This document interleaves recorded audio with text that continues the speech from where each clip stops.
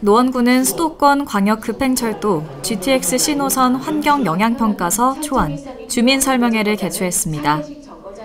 이날 설명회에는 관계부처인 국가철도공단과 사업시행사 현대건설, 설계 담당 삼보기술단, 또 평가 대행사인 동성 엔지니어링 관계자가 참석했으며 많은 노원구민과 함께 다양한 의견을 공유했습니다.